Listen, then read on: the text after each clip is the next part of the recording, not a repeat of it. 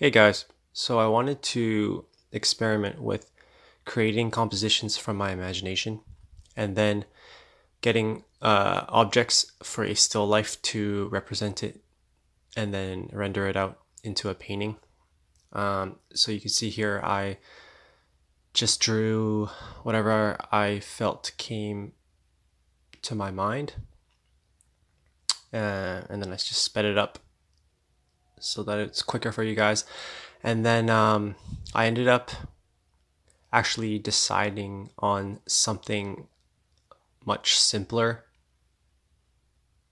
So in a few seconds, this one right here, I just um, like the one there, and then I decided to build on that, just a uh, shadow character behind a light character. Alright, so I got my still life set up here with with a viewfinder and pretty much ready to go and I also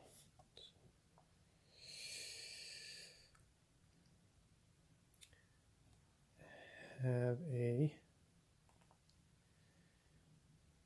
value plan just to help out with getting the painting sorted. So I'm going to paint and see how it goes.